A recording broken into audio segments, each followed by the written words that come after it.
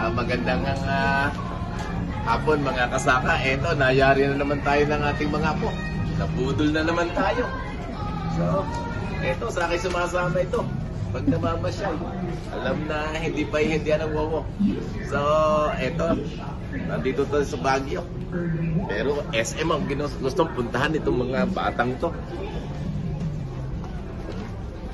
So, magkita-kita ulit tayo sa farm.